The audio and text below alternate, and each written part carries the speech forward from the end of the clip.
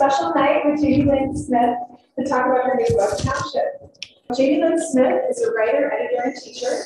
She earned her BA in English and Theater from Kenyon College, her Master's in Education from Fordham University, and her MFA in Creative Writing from Ohio State.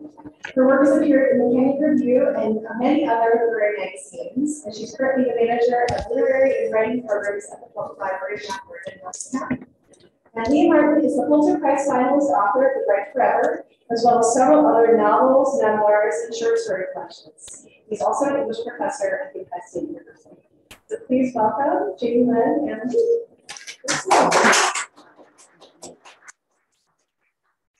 um, thanks so much for that introduction. And thank you all for being out here tonight. I am absolutely thrilled to be able to present um, Jamie Lyn's debut collection of short stories, Township, this beautifully designed book uh, that is for sale across the street at Gramercy Books.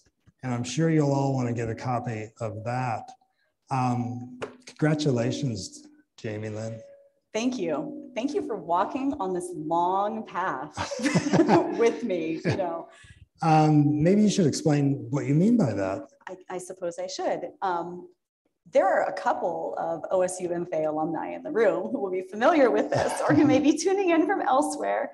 But um, Lee was one of my thesis advisors at Ohio State University.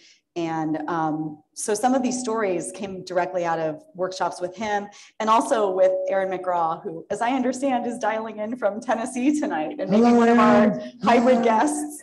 Um, so, you know, some of these pieces I think I wrote as long ago as starting in 2013, like in my second semester at Ohio State. And um, they've just evolved over time. And you have been so patient. You have earned a grassy spot in heaven with all of these drafts. As has Erin. Well, a grassy spot. That reminds me. that reminds me to say that uh, these stories come to us from the land of ramps and mm. hickory nuts and walnut moonshine. I'm so relieved you didn't say weed.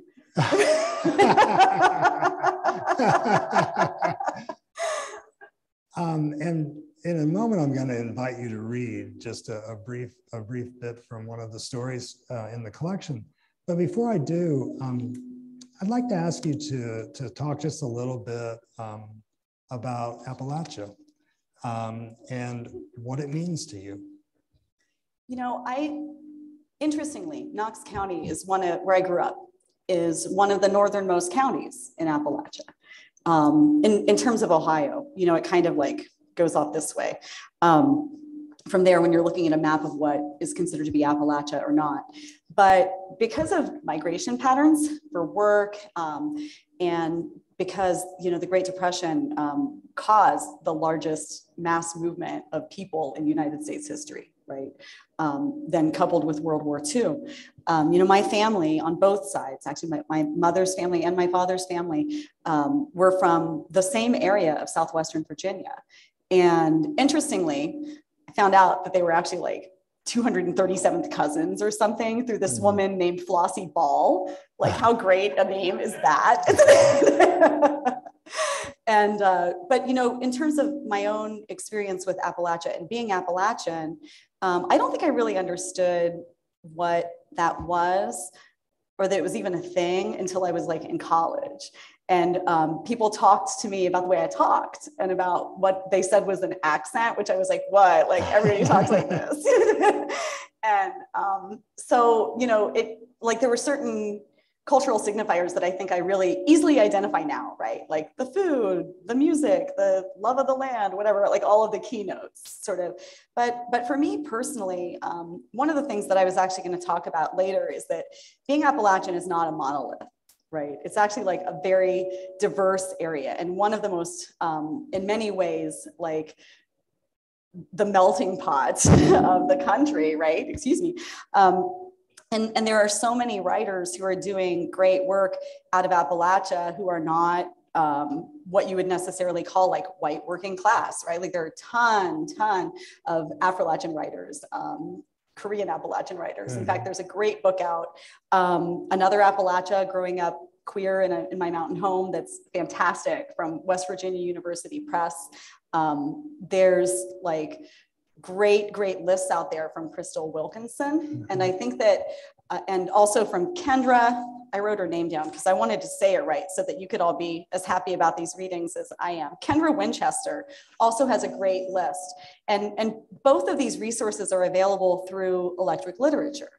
Um, but so for me, in some ways, you know, my experience is um, growing up in, you know, relative, like relative rural isolation, right? In a, in a, in a poor family um, that nonetheless had great respect for education, for reading, you know, and for books, um, and for for people who had, you know, formal education, if you will, um, has been enriched so much by by reading even more about other people's experiences as Appalachian writers. Mhm. So it's not, you know, I also, those of you know, I also identify pretty strongly um, as like a, I don't know, displaced New Yorker. And so it, I kind of sometimes feel like I have a foot in each world. And so if you can be like, you know, um, both willing to have a 20 minute conversation with someone who perhaps dials a wrong number, um, you become best friends with them, and also be incredibly impatient in line at the post office, then like, you know, that's, I'm your people, right? I believe uh, I believe I've encountered both of you in in your work. um, this would probably be a great time for you to read just a little bit, uh, if if you would be so so kind to honor us uh, with just a short selection uh, from from the stories. Well, sure. Thanks everybody for being here. It's really a lot of fun to see people and be in person. This is the first in-person reading that I have been able to do. And I didn't realize it until I got to the lectern. Um, but I am so excited about this. So um, I'm gonna read tonight from a story called A Line of Four Silver Maples. And um, this story is one of the few that has more kind of like some autobiographical strains in it. And it also came out of Lee's workshop. So I really, I really credit him for encouraging me to find more vulnerability and tenderness in my characters. Um, and I, I just, any, any goodness you see in this story, I credit with his sensitivity and, and advisement. It was really, really helpful. Um, so a line of four silver maples. Word was out in the township that Roby was back living in a trailer in Country Court. The double wide belonged to the Vances, people who weren't relation to him, but who Roby kept calling family. Paul knew the malleability of that term because Roby was his blood cousin. They were raised up next door to each other with only a line of four silver maples and a broad, open expanse of lawn separating their houses. Shouting distance is what Paul's father called it. Only most of the shouting came from Roby's father, Ennis, and most of the shouting was directed at Roby. So Roby was often at Paul's house, nose pressed to the glass at the storm door, asking if anyone could come outside and play. Paul had eight years on Roby, and the boy had drifted off his radar when he left for college, moved to Columbus, and took a job teaching school. Paul's heartbreak over losing his longtime lover gave him good reason to return home to Laurelton, albeit under the premise of caring for his ailing father. By then, Roby had long since disappeared into construction work around Columbus. He was always changing jobs, getting fired, arguing with the boss, or flitting in and out of doomed ventures in self employment. He had such bad luck. Perennially, perennially left holding the bag by some unsavory partner, winding up in small claims, jail, bankruptcy, or lien. Last Paul heard, Roby was in the middle of his third divorce, ducking his soon to be ex because the girl wanted her truck back. That early spring, Paul could smell the heavy perfume of apple and cherry blossoms on the breeze despite cold, overcast skies. Stacking bags of mulch to spread in his mother's flower beds, he was so lost in the shadows of his own mind that the first he heard of the vehicle was its radio blasting Charles, Charlie Daniels' twangy, undulating, long haired country boy. Paul looked up to see a truck overshoot the driveway. a red Ford work truck with a deer dent on one side. The motor groaned when the driver put her in reverse. Paul noticed the broken slider window, one side tinted glass, the other with half a Harley Davidson sticker peeling off. The truck had no tailgate and its bumper was held up with eight gauge wire. One well muscled arm hung out the window, thick with ink. Dragons, a mermaid, a melting skull, the Confederate flag next to the eagle, globe, and anchor. Roby. Paul last remembered him as a skinny 12 year old, all knees and elbows, and the hungry look of a horny kid hoping for something, anything, to let him stick his Peter in it. Now, even slouched in the bench seat, Roby's bulk made the truck appear toy like. Hey, cuz, Roby drawled, teeth gleaming. Long time no see. Paul smiled and said, Come on in, cousin. Good to have you back home. Paul's mother was fast asleep in her chair with the cat on her lap, Bogsy's enormous paunch warming her legs as they snored in unison. Paul adjusted the blinds to take some of the glare off Helen. Roby strode into the room and sent Bogsy bicycling four feckless paws across her stomach. Roby laughed and caught Bogsy, hefting the poor thing into the air. The old feline arched indignantly. Helen's eyes flitted open. Put my cat down, Helen said, or you'll pick your own willow switch. Roby chuckled and bent to gently drop the cat into the chair. Oh, I wouldn't do nothing to a cat, he said. Bogsy ran for his life. How are you? Roby asked, kissing Helen on the cheek. Glad to see you, Roby, Helen lied. She offered him a seat, but did not stand on account of her sore legs. Paul's eyes met his mother's. They chatted obliquely while Roby coughed gently and intermittently into his hand. Roby, Paul sensed that Roby had read his unwelcome straight away. If nothing was offered you, a slice of cornbread and buttermilk, some homemade chocolate cake, a glass of iced tea, you could bet you weren't received. Paul noticed the tightness around his mother's eyes whenever she smiled at Roby. Helen's thinly veiled irritation gave Paul a quiver of guilt. He remembered how it had hurt his father when his mother inked the kids' names on foam cups before each family picnic, her pretty mouth flattened into a straight line. It was as if she thought the misfortune and grit in which Uncle Ennis and Aunt Linda and cousin Roby lived would somehow backwash into the mouths of her own children. Ennis noticed, and worst of all, Roby noticed. Paul knew that Helen's not so faint sense of superiority made Roby seek her approval with even more fervor. She withheld it then and now. You mind if I get myself a glass of ice water? Roby asked. Why, sure, help yourself, Helen said. My legs are awful weak. Cups in the same place? Just where you left them. Neither Paul nor Helen took thought of the small cash Helen kept hidden in a coffee can in the cabinet just upright of the kitchen sink. They heard Roby open the refrigerator and rustle around. Mind if I make a sandwich out of this ham? Roby asked. Of course not. Go ahead, Helen said. Then they heard Roby open the cupboard door, sneeze, and run some water. It would be months before Helen noticed the money was missing. Paul would remember the racket Roby made in his kitchen and blush with shame for suspecting him and shame for being right. Helen leaned in to speak to Paul, pursing her lips and gesturing towards the kitchen with her chin. What's he doing back there? Go look if you're so curious. We don't know his condition. He seems all right. Helen need not remind Paul that Roby had been arrested once for a fight with an ex that turned ugly, another time for petty theft of materials from a job site, and then a year of state hospitality in Kentucky for selling cocaine. That was years ago, Mom, Paul said. Take care not to cast your pearls before swine, Helen said, and adjusted the pillows in her easy chair. Roby returned a moment later, stuffing a red bandana into his back pocket. You're looking good, Auntie, Roby said, sitting down and taking a big sip of water. Well, sugar, Helen murmured. Aren't you sweet as ever? Bogsy growled a low, rumbling sound from his hiding place beneath the coffee table next to Roby's chair. He reached down and scooped the cat up again, cradling Bogsy to his chest as the cat writhed.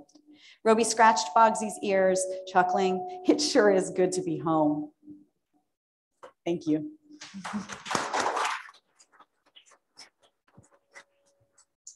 That was fantastic, Jamie Lyn. I'm so happy to hear you read that. Um, our plan up here, folks, is to chat for just a little while uh, and then to invite your uh, participation with questions and comments. And I'm assuming we have the option of uh, people uh, having questions via chat and or via Zoom. Um, and so I thought I'd start out, Jamie Lyn, um, that, that particular scene that you read really uh, leads nicely to this, this mm. question. Um, it, it, seems to me from, from my own experience with small towns and rural settings um, that there's a, a, certain code of masculinity um, that sometimes leads to um, people making poor choices, uh, doing things they probably shouldn't do, um, causing troubles within families, uh, and those sorts of things. And I'm always interested um, as a writer in the connection between a, a, place and a culture and the actions that, that, that come from people who live within that place and that culture. I just wondered if you had some thoughts um, about the male characters in Township um, and how um, perhaps um, their own setting and their own culture and their own code um, is uh, leading to some, some poor choices on their parts. You know, I think that without poor choices, I wouldn't have much of a book you know, and there would certainly be a lot less to do in rural areas. Like, I mean, let's let's be honest. Like, there are poor choices that can be kind of fun, right? And there are poor choices that, like, like let's see what happens if we set this thing on fire, or you know, but there are also poor choices that like can be, um, as you said, you know, like destructive and have sort of generational echoes. And I think a lot about the way that what we expect of people is always changing, right? Like what was expected of women 20 years ago, 40 years ago, men now, you know?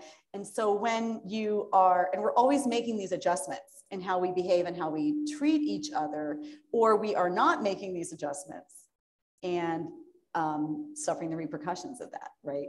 So when we have, um, I think that this story and the last story in the collection, Love is Patient, Love is Kind, um, that those are the two stories in which I spent kind of like the most time with men and their choices. Mm-hmm. You know, a mm-hmm. lot of the other stories are about women and friendship and um, and also arguments. And so and like with that, I mean, there's in their own way, Ennis, and sorry, um, Roby and Paul are struggling with their own, like, how do I do this, right? Like, how am I to be a man and move through the world, right?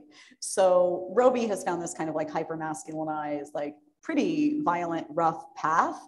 And he, and Paul's life has been relatively placid and calm, and he's done the right thing a lot of the time and um, is bored as hell and also questioning who he really is, you know? So I think that the interplay between like walking that fine line is sort of like what um, what happens when with these characters, and it's also what happens with all of us in our lives, right? Like how much fun? Ask yourself, how much fun can you have tonight and not get fired? I don't know, but I want to find out. Right. See you at eight. Um, so now you got me thinking about the first story in the collection, uh, Nature Preserve. And um, it seems to me that in that story, as well as in other stories in the collection, um, there are certain opportunities uh, for men to um, to sort of step outside that restrictive code and offer comfort, guidance, et cetera, et cetera. So, one of the things that really interests me about your treatment of the male characters in this book um, is sort of the tension that exists between what someone may know is the right thing to do, even if it's in opposition with what the code is telling them to do. Uh, and so I find your male characters really convincing and um, and compelling uh, because of the way they they have to um, navigate um, through their own behaviors, uh, either in opposition to or in accordance to uh, sort of this code that's that's been a part of this place that you so beautifully uh, depict in these stories. Um, would you like to say anything? There's like one thing more about your male characters before I move on. I can't remember who told me this, but one of my early readers mentioned that there's nothing more dangerous than being a llama or a man in one of my books. like something's going to happen to you. Or, or you're going to make a choice right? And it and, and it, i mean this is true for all the people right? Because yeah. again i'd have no book. But but it I, I think that i'm really conscious of the times that like i have um, myself personally chosen to say something when nobody else was saying something. And i'm really conscious of the many times that i haven't said anything and I feel a lot worse about the times that I haven't said anything or that I did not do the right thing, you know. And I think that, you know, the struggles that you come into in your own life manifest themselves in lots of different ways when you write, you know, whether you write poetry or fiction or you write memoir. Um, but I think that those are the questions of the human condition. And so I always, even if someone's not familiar with this wor- world or they're like, Appa, what, you know, or why are you making me read about these hillbillies, right? Like it, it's, it's important for me to tell stories in a way that the human condition and the, the, the struggles that they're encountering, no matter where they are, um, or, or where people are coming from, are meaningful to them. Because that's what I see in the books I enjoy the most. That is the victory of your stories, Jamie Lyn. It really, really indeed. Um, even though uh, your readers may not share your intimate knowledge of this particular place, uh, we all share your intimate knowledge of the human condition. And so the struggles of your characters become all of our struggles. Uh, and the victories of your characters become all of our victories. Um, I thought we might talk a bit about um, the female characters uh, in in the book. Um, I was I was interested in your take upon whether you see any sort of evolution um, in the role of uh, women in rural settings um, through your own experience or through the the work you did on these stories. Um, for for instance, is the 2020 woman in in in locales like the ones in your stories is is that woman different uh, than past generations? You know, a lot of the time I see, um, I see women in rural in, in, rural culture, at least the rural rural cultures that I move in, um, in actually like a lot of positions of advocacy and power and engagement and doing a lot of cool stuff. You know, like most of our nonprofits are led by women right. locally where I live, which is kind of amazing, right. you know.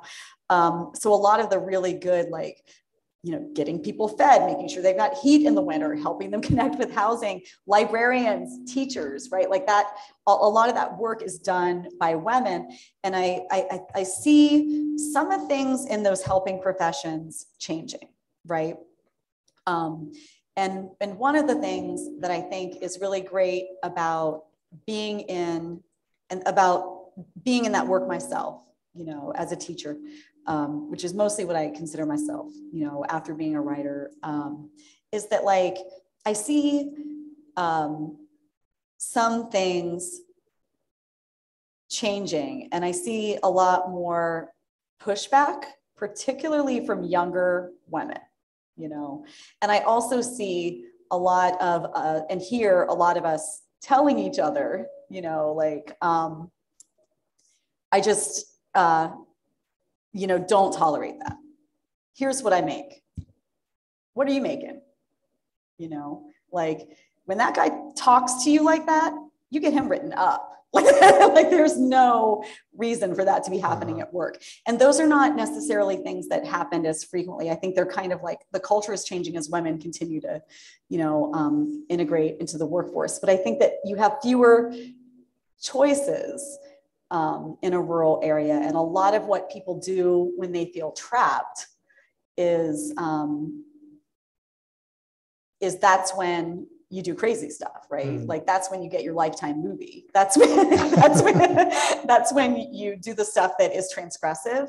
And transgression is also an opportunity to transform, right? Mm. So I, I, I like the way that some of the way that I'm seeing things move. right? But then on the like meta cultural level, like um, he who shall not, not be named, but starts with Louis and ends with I'm a jerk, just won a Grammy for an album in which he brags about the assaults that got him in trouble to begin with, Mm. right? Like, what is this? You know, and I wonder how many women didn't get their album heard, Mhm. right? Or Mhm. like won't be heard. Um, and I wonder about why that is okay. You Mhm. know, I mean, I look at the kind of like um, glorification of bad behavior in celebrity culture.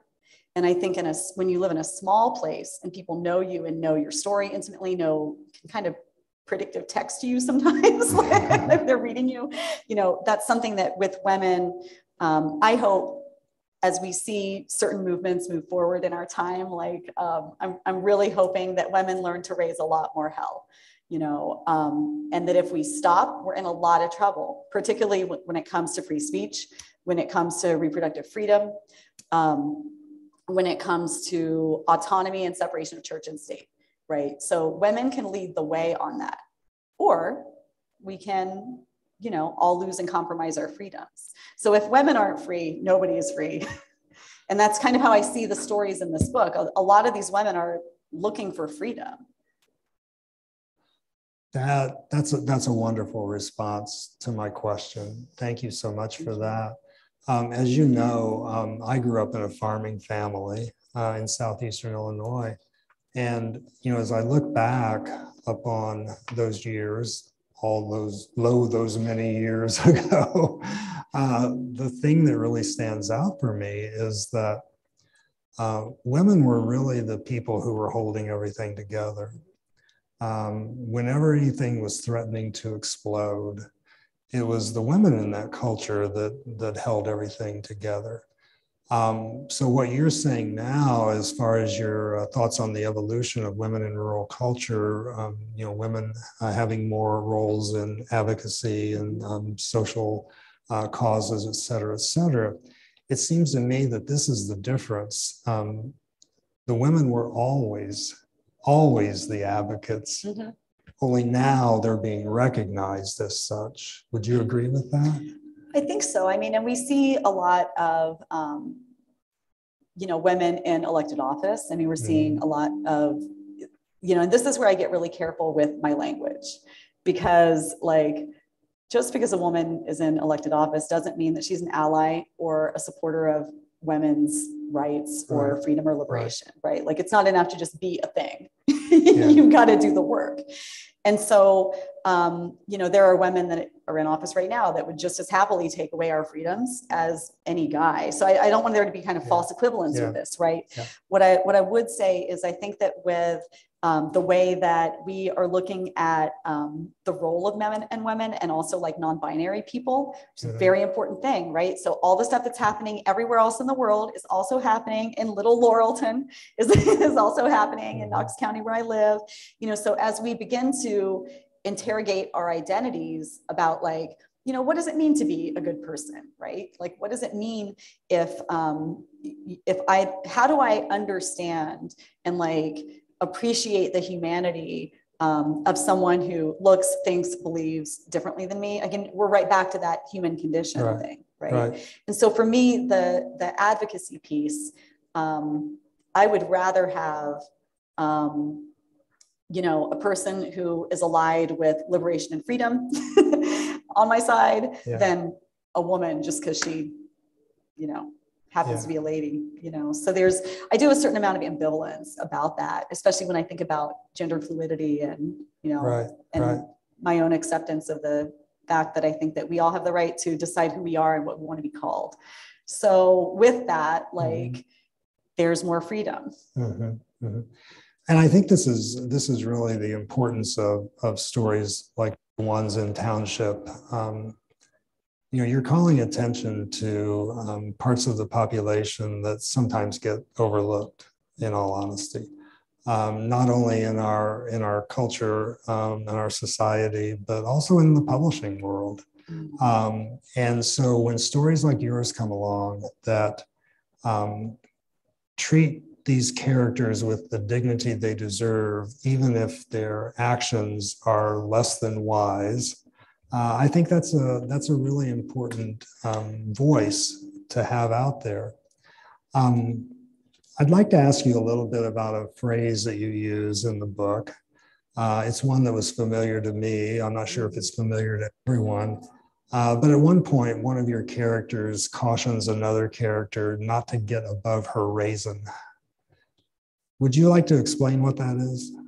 Oh, yeah, that's in homegrown, yeah, right? Yeah. Um, well, having been told that many times myself, like I sure know.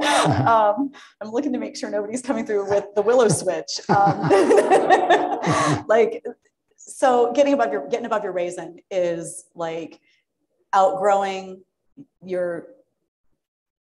And this can happen for anyone, right? Like, um, it's outgrowing. It's a kind of ingratitude. It's feeling that you have outgrown or somehow I, I, really don't like the word overcome who you are you know like overcome your circumstances right? Or like um, or that you have moved beyond and become better than the people who you grew up with right? In your home culture whatever that culture is right. you know?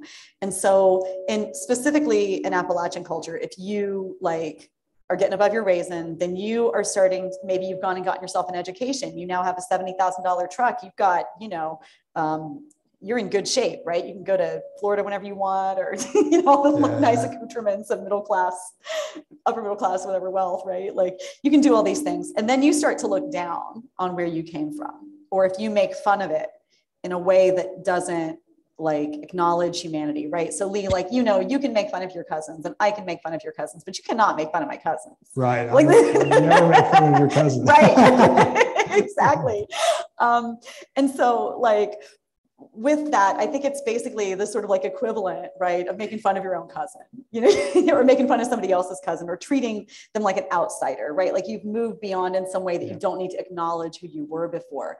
And I think for some artists, there's a need for full reinvention, right? And to swear off the things that were before, like a religious conversion or something, and they become Bad Bunny, mm. you know, um, or they become whatever. Mm. And like, and that's that's fine for that particular artist. For me like what i wanted to talk about in my work and what i probably continue to talk about for quite a while um, are the ways that like there's a lot more going on in these tiny towns all over the country. This is not just ohio you know? Everybody's dealing with the same set of problems right? Whether it's wage stagnation lack of opportunity um, whether it is um, issues with, uh, I mean, meth, everybody's got meth, right? Like there's, you know, there's problems. The problems are the same across the country, our infrastructure, whatever. You know, we've got these things that, um, but in these places where you might tend to think, oh, you know, this is all white people and corn you know? It, there's a lot more complicated yeah. stuff happening in all of these places and a lot more lives being lived.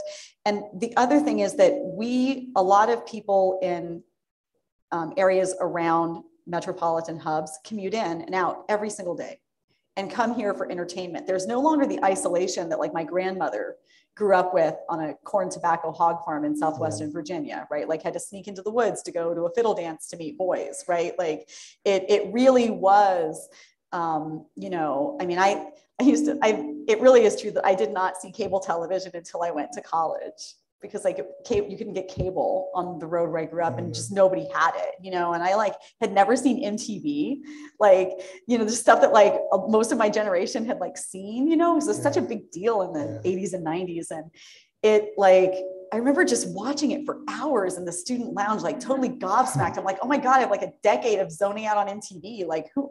And it, I'd heard the music, but I hadn't seen, you know, so that kind of isolation doesn't happen anymore because there is, thank God, a thing called the internet. So if I want to listen to somebody in Africa doing, you know, a reading, I can do that. I can tune into French hip hop. It's great. You should all listen to it. and like, you know, if, if you want to hear someone um, read or you want to go to a lecture halfway around the world, world or make a friend in Pakistan. You, you go out and do it, you know, like that's a great thing.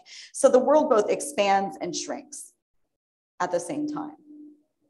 what was the question? Oh my God, I'm so sorry. I got really lost.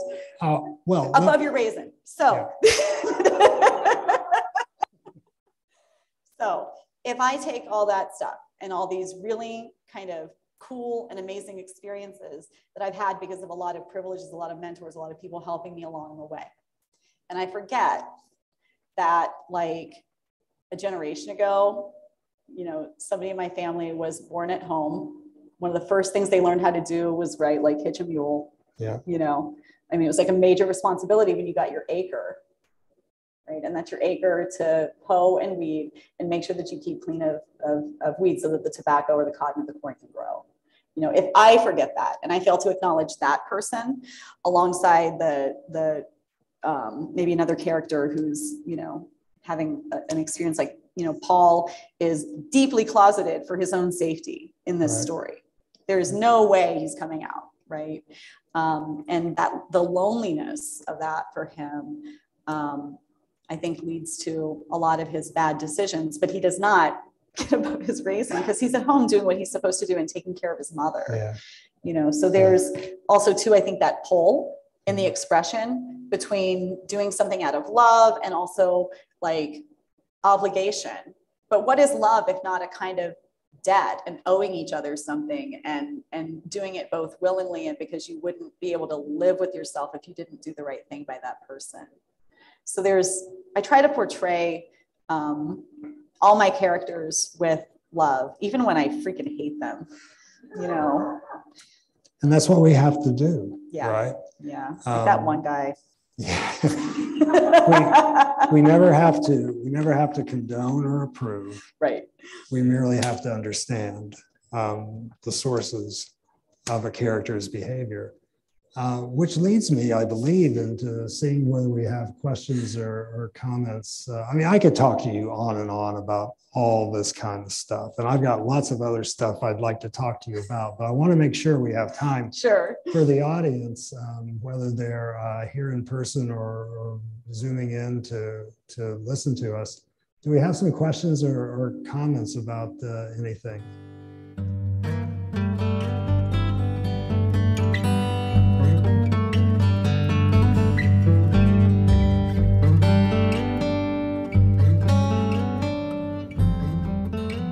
Thank you so much for that kate. I i, I think that um, the journey of the book is something that i think really shows that you know you can compose in isolation but you can't really write in isolation you know. Um, i had um, lee's workshop. I mean and if honestly most of these stories were in my senior thesis at ohio state. And so after i got um, a story in the pinch it's a wonderful literary magazine and in the kenyon review um, I, Erin McGraw said, you should get an agent. And I didn't really know anything about publishing. Um, and especially literary publishing when I went to graduate school, I, I had a huge learning curve. I just wanted time to write, you know, and um, I, so whatever people told me to do, I just did. And you know me, like whatever I do, I'm going to do it like times way too many. And so, and so she direct, she got me in touch with an agent. So the agent wanted to see the thesis project. So I sent them to her and my agent, Jody Kahn, who's amazing and wonderful and um, who I owe so much of this book to, said, all right, well, we're going to work on these for the next few months and then we're going to send them out. Um, so some really interesting stuff happened that I hope never happens to anybody else, which is that the about a week before my second round of revisions was due to Jody, my house burned down. Oh, wait, it burned up. It was an attic fire. So, and and um, that kind of set me back a little bit. I remember calling her when the in the morning when the house was like the firemen had left, and I was like, I'm not going to make deadline. And she was just like, stop calling me. What are you telling me? That, like, it's fine. We'll figure it out. Like, you know, um, and it was wonderfully gracious about it and everything. And I think in a lot of ways, I, as I said, I wrote these stories from predominantly 2012 to 2015 originally. Um, but at that point, I had only, I had moved back to Ohio after like 15 years in New York and Los Angeles. And I was trying to understand what I had done and where I was as an adult, right? Moving back someplace where you grew up is really weird. And um, you're different, everybody else is different. So many things are the same. I honestly probably could have used the same phone book. Um, at least for goods and services. um, but like with that, so I get through the draft with Jody, we send it out, it gets rejected by like 30 places. That takes a while, like a couple years. Um, and I just kept tinkering at it. And in during that time, I was lucky because I kept publishing small pieces here and there. You know, like a lot of the pieces in this have have, have appeared um, in American Literary Review, The Boiler. Um, I, I just was really fortunate. And along the way, I started people started asking me to read for literary magazines and for contests. And that was really when I started to understand how to edit my work. And so if you are a writer and you want to learn how to write, go read for a magazine or go read for a contest and look at what's happening out there and what people are doing. And when you're sitting there being like, oh my gosh, this is beautiful. You're weeping. You're so happy. Like, I want people to have that feeling. But I also would read stuff and I'd be like, oh shit, this makes me want to put my own eyes out. Right. And like, I just did that in my story. And now I have to go die and do a rewrite. So, like, so I would see these things. And I, I don't in any way mean to disparage another writer. I really want the target of this to be me. you know, like, but there are times when you see a writer make a move and you're just like, oh man. Um, and so like with all of that i i had to really grow and i had to really grow as a reader. And i knew the stories i wanted to tell but i wasn't i think in some ways ready to tell them fully when the book first started its long journey. Then and this is another thing writers should do go to awp went to the I went to the conference. I was wandering around trying to promote a literary magazine I had started, and I tripped over something and landed literally like on a table that I managed to not knock over and righted myself. But it was one of those like super awkward things. And I was like, oh, what is Cornerstone Press? And the guy is laughing. And I was like, I'm sorry, I'm awkward. I break things all the time and I, you know, trip and can't walk. And so, so we started talking and I was like, oh, you have this undergrad program. I'm working in an undergrad program. Let's talk about stuff. And um, he was like, well, we publish. He was telling me about the press. And he was like, send me something. So I go back from AWP, lose his card, couldn't find it. And I was going through a folder and it had fallen into a different thing. And I was like, man, I think that's like the last one of the like three places I have not queried. And so on my birthday in 2019, I think it was, I, I was like, all right, you're going to get this stuff sent out before your birthday. So March 1st, um, Bryan Taco Baker's birthday, I sent out the queries. and by my birthday, which is March 5th, I'd heard back from Cornerstone. And I had two rejections from the other places, which it's fine. I've had to reject stuff too, and it, it's heartbreaking. So it was neat. I was like, okay. So they took it, and I was really surprised because I just had kind of done like a Hail Mary thing. You know, I thought, well, maybe this is just, this book is something where it was something for me to learn about myself as a writer but no you know just certain stories in it won't see the light of day the first book will be this novel i'm working on i'd kind of like given up you know and i just um, want to tell writers like don't don't do that someone if you keep working on it right?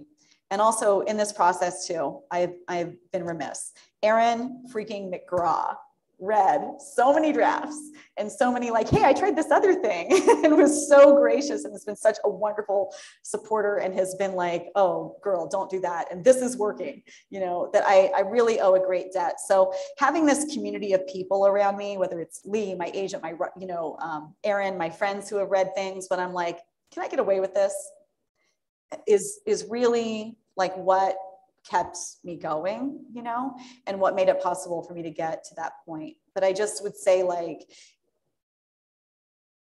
use that um, use that time and use the use your rejections wisely. There were things that were not working that I had to learn how to fix.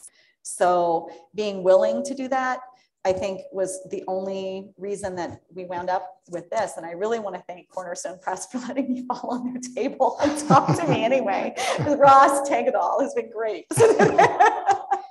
I'm really so, happy you fell on. that. I table. it was meant to be, but it's like a meet cute for books. And I, I was just like, yeah. Yeah. Anyone great. who's ever seen me try to navigate a room with tables in it knows this is not safe. We'll, we'll make a wide eye when you exit. Right. I smacked you when I tried to hug you today. I, I thought I dislocated his wrist. we won't even talk about Too much enthusiasm. we won't even talk about hot, hot pads left on burning stoves. Oh yeah, I set my dress on fire before. What was the event? Epilogue, wasn't it? Yeah, epilogue, and I had to change. Uh, Other, other questions or comments?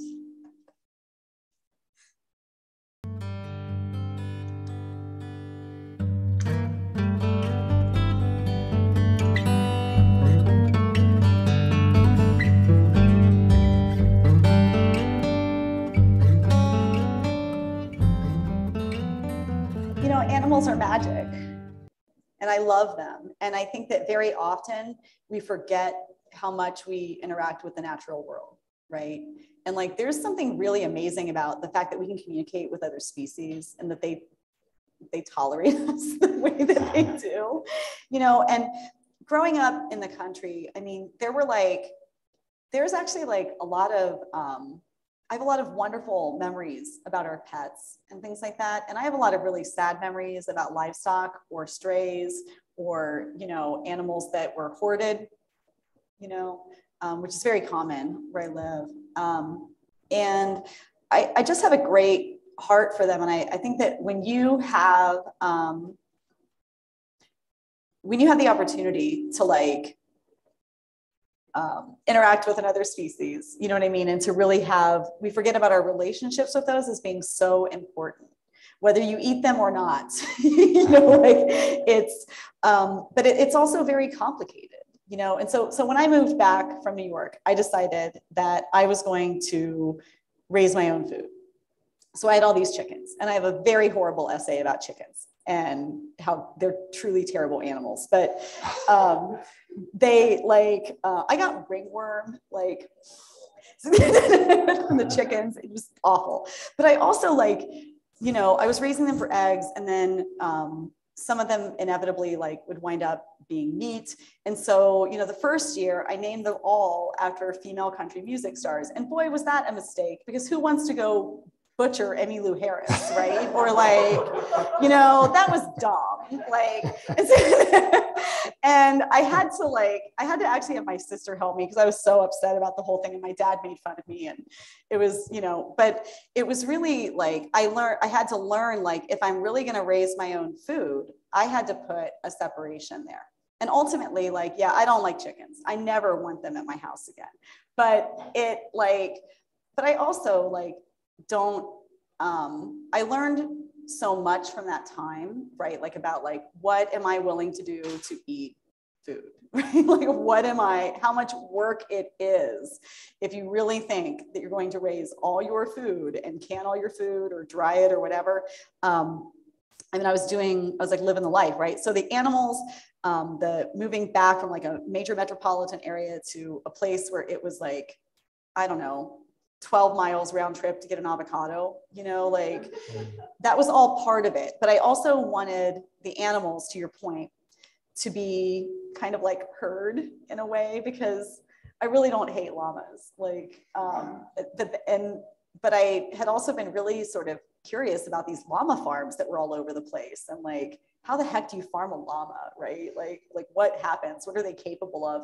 And um, so some of the stuff that I found out about was just really great content that you can't make up, right? Like, did you know that llamas will butt smother coyotes until you read this book? Like, that's how they, they're used to guard sheep. They, the llamas, they get them and they, they'll sit on the coyotes and smother them with their butts. And that is how they kill the coyote. And like, I really, I don't like coyotes either, but there are animals I like. I will talk about them in a moment. But the thing is that like, I mean, like that's amazing. You see this thing that looks like it couldn't, you know, it looks like a giant stuffed animal, but it can kill a coyote. Like I can't do that. So, so, you know, there's like this whole like balance in the world that I think we sometimes forget about because we interact with domesticated animals and pets all the time and being in, in, um, proximity again to the kind of wildness that I was totally oblivious to as a child who grew up in that environment was something that I wanted to think about and interrogate, you know. Um, and so I hope that that answers your questions. And to wit, I love elephants, dogs, peacocks, cats, and fish. and a bunch of other stuff too. But. We should probably um, make a last call for questions or, or comments um, if anyone has any, uh, or if anyone online has has posed a question. Um, I was just saying, my husband's online. Is he writing weird stuff in the chat? Hi, honey.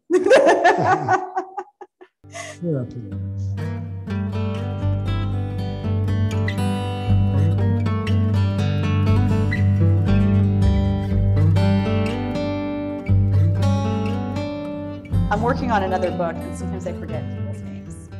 Um,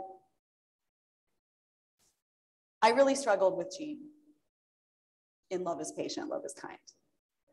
I mean, it was like a story I really didn't want to write, you know, and that like, um, this is a, a character who is um, like abused children and served time in prison and comes back and had a, has had a a conversion to Christianity and wants everybody to just be okay with him. And it's a long, hard road, you know, like what is redemption, right? So Gene was one that I really didn't like. I am not crazy sometimes about um, Deborah, but I, I had to give her a story because she was just so like this character just kind of kept coming up in my mind. And um, Wayne, yeah, I could have been nicer to Wayne.